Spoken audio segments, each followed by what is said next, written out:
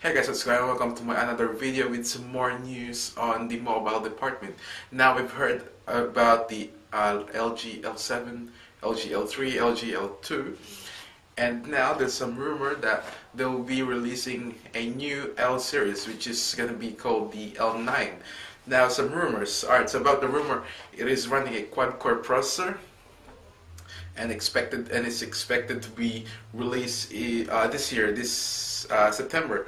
Alright, so and also it's being said that it's gonna have it's gonna feature a 10 megapixel camera. Now I think uh, by saying that, I think they're gonna bring a you, you know um, they're gonna take the mobile to the next level. So so I think that's I think that's really great to hear now. Now it is also being said that it's gonna have a true HD IPS display. So it is the same with the uh, 4X HD. So I think that's that's great to hear.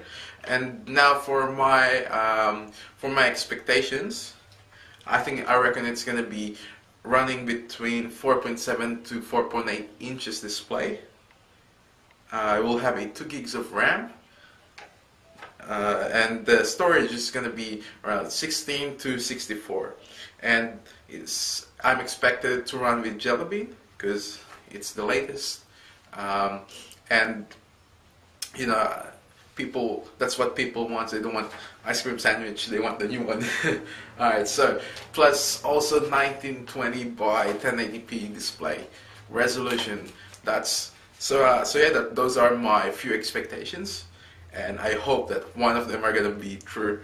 Um, especially the um, RAM, two gigs of RAM, because we've heard about the we've heard about there was well there was a rumor about them doing a putting a two gigs of RAM in a cell phone. So so um, so yeah, that's just my quick update to you guys about the um, LG L9. So, and, um, and yeah, I'll keep you guys more up to date about this, and I'll see you in my next video.